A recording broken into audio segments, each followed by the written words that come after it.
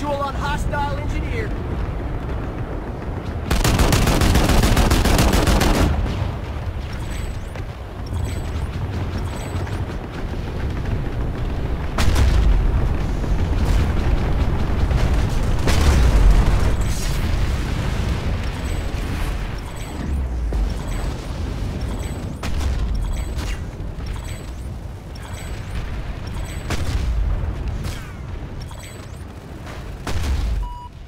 successfully defended the facility.